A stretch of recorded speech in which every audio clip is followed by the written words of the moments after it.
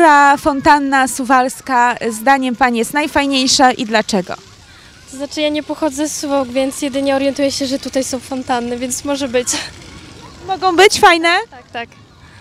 W tym parku są w porządku, ale chyba najfajniejsze jest jednak w starym parku, bo jest największa. Można w każdej chwili się zamoczyć i bardzo jest w ogóle fajnie. A często tutaj przychodzisz? Tak. Jak dla mnie to chyba znaczy ta, bo przy niej dzieci mogą się pobawić. A często tu Pani przychodzi? Znaczy, jeżeli przyjeżdżam do pracy, no to cały czas.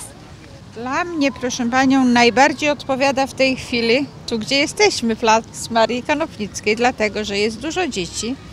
Moja wnusia, nasza wnusia, bardzo lubi towarzystwo. No jest oczywiście przy soku, bo ona bardzo lubi wodę, ale tutaj jest bliżej, ja mogę przyjść z nią pieszo, także to jest wspaniały pomysł, że to jest zrobione. Chyba ta najładniejsza jest. Wieczorem, jak jest zapalone y, te, te diody ma, jest bardzo ładny. A często Pan tutaj przychodzi? Widać, że z córką? Od czasu do czasu, tak. Korzystamy właśnie z tego, bo bardzo jej się podoba to.